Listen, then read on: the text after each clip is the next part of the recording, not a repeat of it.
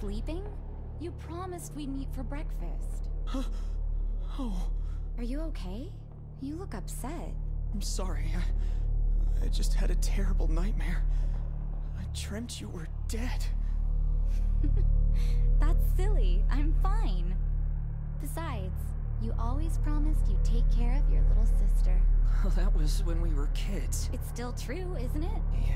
Why don't you try to get back to sleep? I'll wait outside.